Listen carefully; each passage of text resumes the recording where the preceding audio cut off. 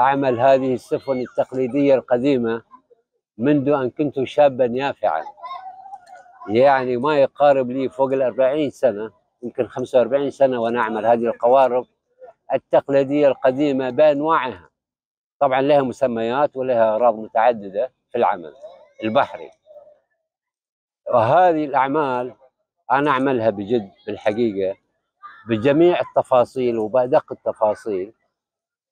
ويوجد لها زباين من مختلف الأعمار داخل المملكة وخارج المملكة.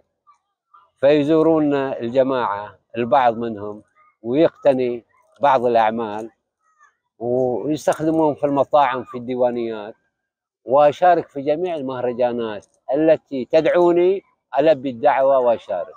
فأنا مشارك في هذه حرفيون اثنين تبع الضمان الاجتماعي طبعا العام الماضي شاركنا حرفيون واحد والسنة اثنين والله بلغنا إياكم إن شاء الله ونشارك الجاية بعد.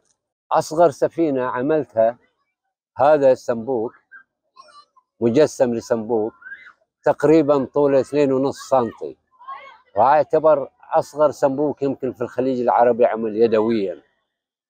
وهذه أغراضه ركبتهم بالملقاط لأنه ما ينمسكوا. متعب الشغل حقه واجد دقيق. وأكبر سفينة عملتها تقريبا متر ونص. عملت خمس أحجام بالمقاس هذا تقريبا متر ونص أو أقل.